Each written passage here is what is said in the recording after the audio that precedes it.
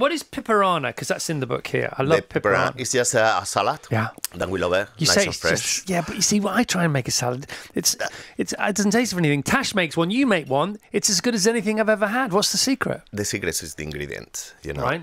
Buy the best and really don't touch much. You know. But the what would you ingredients put have on? to talk. But what would you put on it though? In a salad. Yeah. Important. I always. I will say um, good tomato. Yeah. Now in season.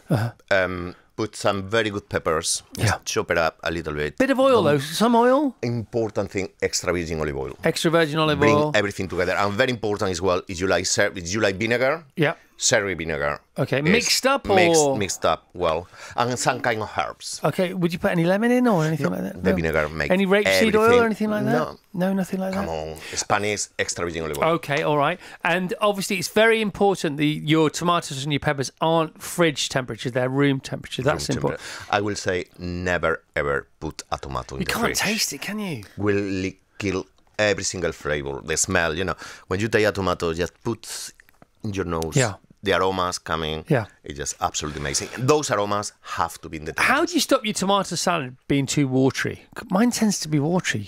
Is that? You put uh, maybe you just uh, put too much salt in the beginning, or you leave Maybe, it there. I don't know. The salt always try to take it out you all think the so? juices. Can so be not so too much. That's too much salt. too much salt, or Okay. and just dressing just before you are gonna eat it. All right.